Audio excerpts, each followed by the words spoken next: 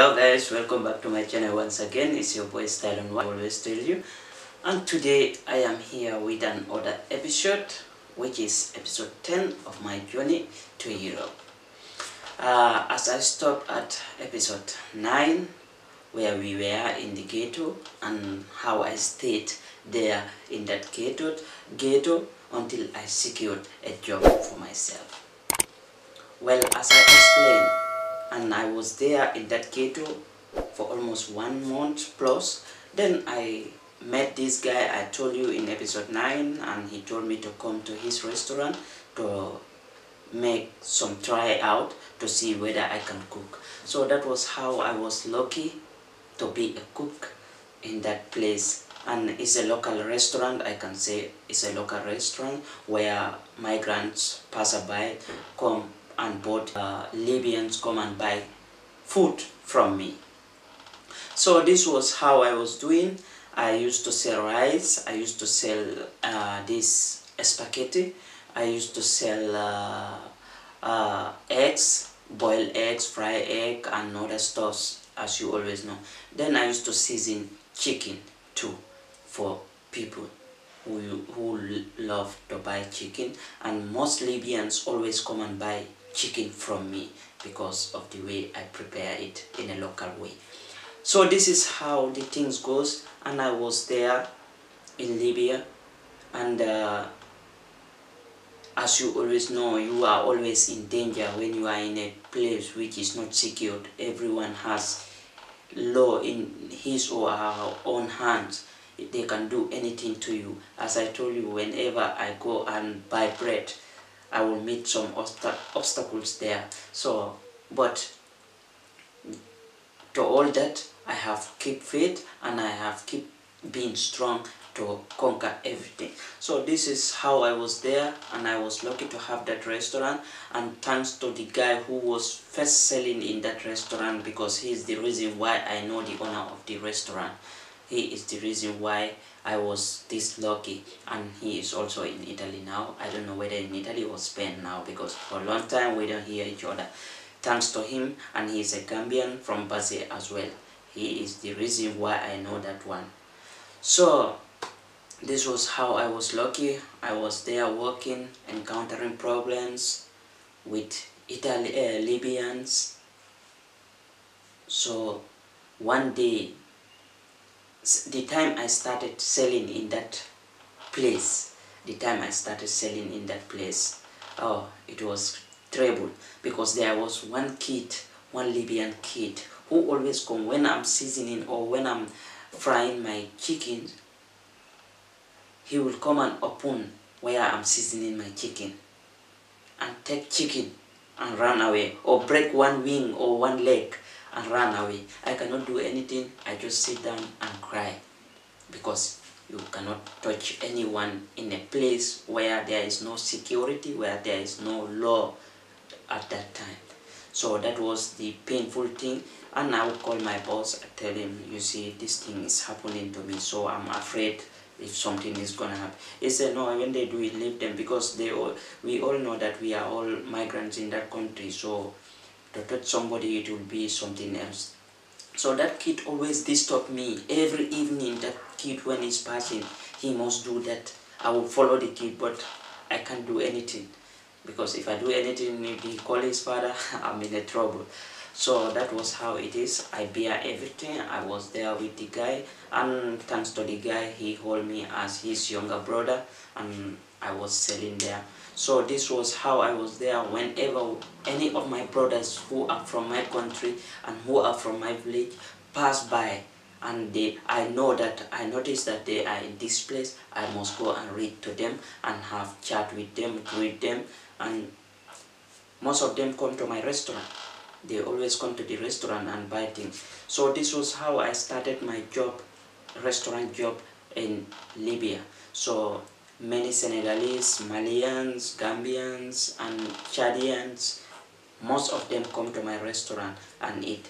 And most of them, especially my brothers in Senegal, the Senegalese guys, they always take a plate, a basin. Every day their basin is there that you know the amount is already fixed which you know they always buy. Because they are welder men they have a weldery shop there so they always come for their lunch in that place because of the way I cook my food. Because I know how to cook rice and I'm good in it not by praising myself but I'm good in it. So I have to give a thanks to my mom for teaching me cooking.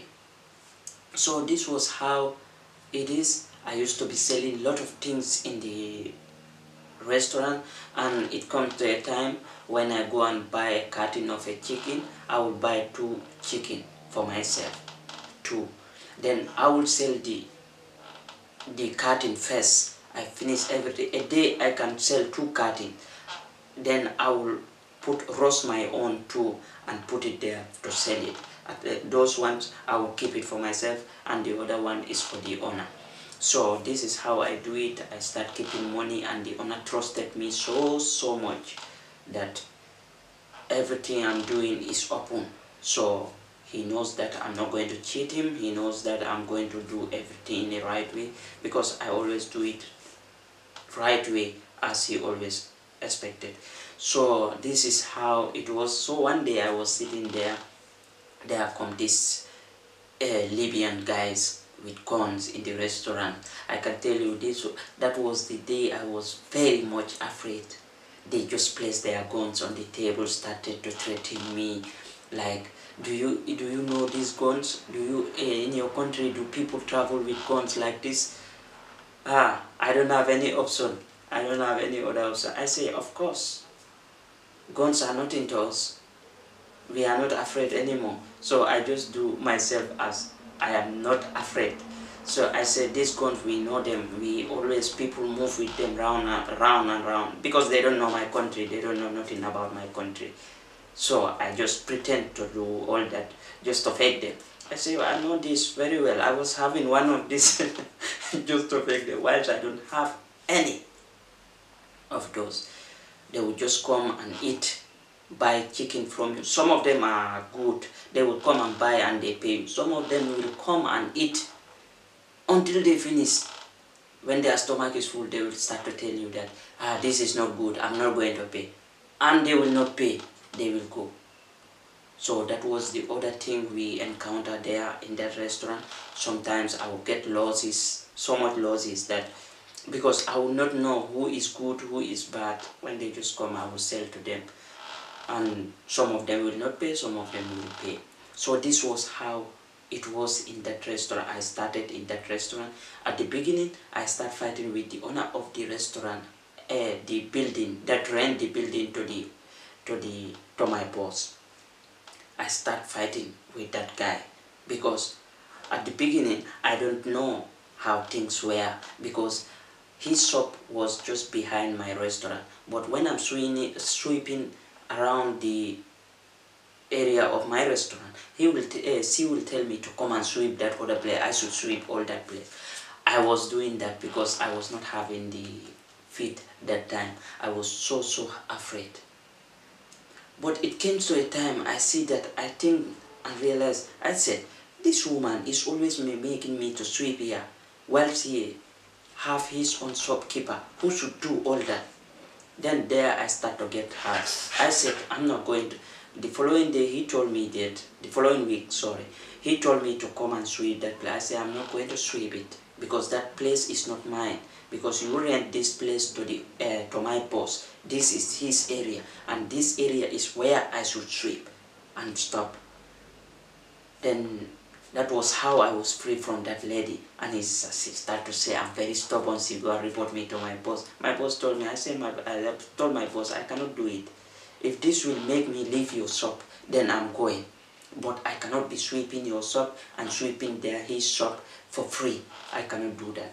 So this was how I was free from the lady. If not, I would be doing all those jobs. Because I was alone in that restaurant. I cook, I uh, wash plates, I season chicken, huh? and I make breakfast, I make lunch, I go to the shop, do shopping, come back, prepare everything before time of lunch, people will start to come. I used to do all this by myself, no help, with no help. that time at the beginning with no help i am singly handling all these stuff all these chores by myself in that restaurant at uh, by then. So but i know i came to hustle. I have to do everything to make money. So this was how i start making money. This was how i start working there like crazy. Both day and night. Sometimes a day i will cook twice lunch. You see after cooking twice a day and people will be just coming to buy food and some will even meet everything is finished. I will just prepare egg and all that stuff for them to eat. This was how i was there in that restaurant before my boss will bring his wife and uh, younger brothers to come libya. That was that will be around uh, when tobaski is tobaski was approaching. No not tobaski. When korite prayers was approaching fasting was finishing because in that month I used to fast and doing all the chores by myself. So this was how I was there before these people will come, before one of my brother was there before he will come. Because a lot of Senegalese people used to buy food from me and those people they have their workshops and they used to buy a lot from me because that area I was only the one I was only the person who has restaurant around that area because other restaurants are inside but most people used to come to my restaurant. It was not that much big but thank god that i met a lot. I there was where i got all my fare from that place tripoli. And i have i just reached tripoli i just work a little bit then to make little bit money and add it on top of the one i worked in uh, in, uh, in to go and pay for my boat to go to Italy. So this was how it was. There, things were hard, but unfortunately, I have made it. And uh, this was how things started coming up for me. And I'm going to tell you in episode um, uh, episode 11 how I start working with some of my boss brothers and one of my brother who also came and meet me there. So i'm going to tell you everything in episode 11 and much more other things in episode 11 what happened to me in Gatron because I have stayed in Gatron for almost eight months. Eight good months I am in Gatron working thank you very much. See you in episode 11